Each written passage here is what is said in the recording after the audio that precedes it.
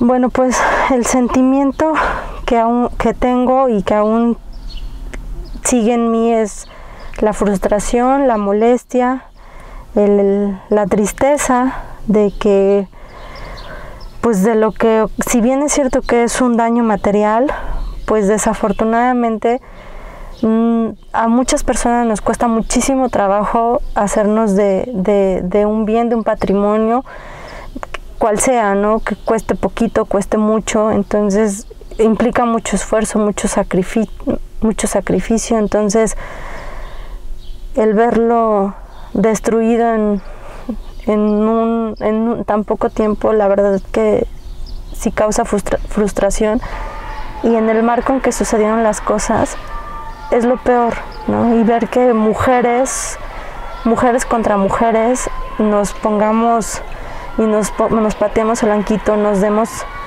nos demos y nos ocasionemos daño, la verdad es que es algo que todavía no puedo manejar. Me es muy difícil, es algo que nunca pensé vivir y que nunca imaginé que otras mujeres pudieran dañarme. Normalmente siempre me cuidaba más de los hombres y el ver que una mujer ocasionó este daño para mí es un shock. Toda mi rutina del día y de la tarde ya cambió. Cosas que pues no estaban pensadas hacer, el levantar una denuncia, el, el acreditar tu propiedad, el pasar por todo esto desde la tristeza, el enojo y otra vez tristeza y otra vez preocupación, angustia.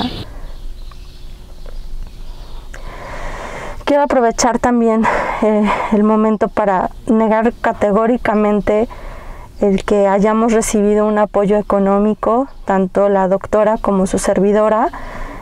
No lo hemos recibido, se están haciendo las cosas en estricto apego a la ley, como marca la ley se están siguiendo los pasos y todavía no llegamos al punto de la cuantificación de los daños. Obviamente las cantidades que están circulando por redes sociales no reparan el daño, el daño de, del vehículo, ni de mi coche ni el de la doctora.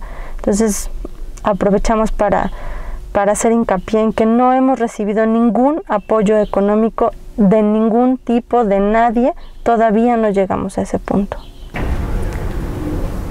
Soy enemiga de la violencia.